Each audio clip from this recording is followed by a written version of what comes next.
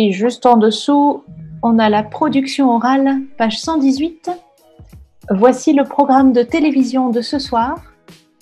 À deux, vous discutez avec un ami pour décider de quelle émission vous allez regarder. Le premier le meilleur pâtissier. pâtissier. Le meilleur pâtissier